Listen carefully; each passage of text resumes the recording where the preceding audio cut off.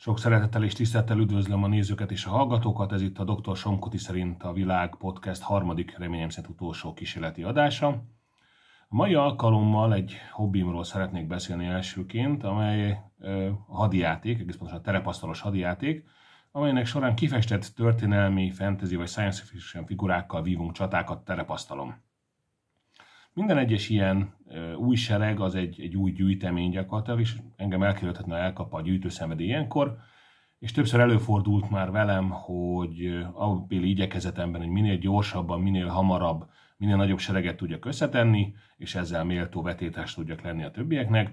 Gyakorlatilag gondolkodás nélkül csak a seregre és a különböző egységekre fókuszáltam, aminek az lett az eredménye, hogy nem volt megfelelő szállító eszközöm, vagy szállító alkalmatosságom, amivel ezeket a kifestett modelleket el tudtam volna vinni a játék helyszínére. Ugye nem csak szervezetlenül érkeztem meg a, a helyszínre, hanem bizony sok alkalommal meg is sérültek ezek a figurák, amik ott helyben persze nem okoztak gondot, de azért otthon elég sokáig tartott helyreállítani őket.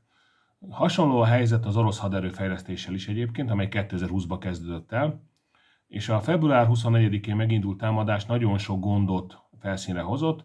Ugye valószínűleg a, az orosz katonai vezetés is látta, vagy hát ha nem látta, akkor nagyon súlyosat hibázott, hogy nem látta ezeket a problémákat, ennek ellenére mégis a támadás mellett döntöttek.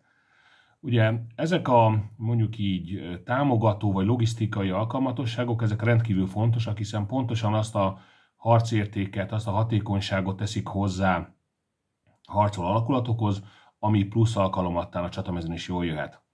Hasonló gondokkal küzd egyébként a kínai haditengerészet, amely sokkal átgondoltabban és sokkal lépésszerűbben, tervezetebben folytatja a fejlesztését. Például nemrég vette észre az amerikai hírszerzés, hogy még luxusoknak nem nevezném őket, de mondjuk, hogy utasszállító hajókat vásárolt, illetve tett katonai alkalmazásra alkalmassá a haditengerészet. A kínai haditengerészet, aminek egész vicces neve van egyébként, mert a hivatalos neve az a népi felszabadító hadsereg haditengerészete ugyanis a repülőgép több ezer fős személyzetét, nem tudták elhelyezni.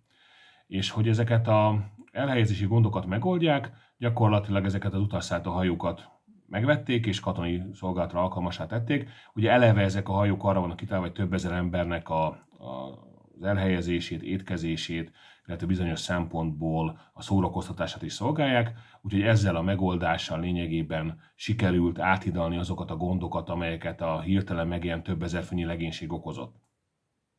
Még egy információ erről a történetről, ugye pontosan az mutatja, hogy milyen összetett és milyen nehezen elsajátítható egy ilyen típusú képesség.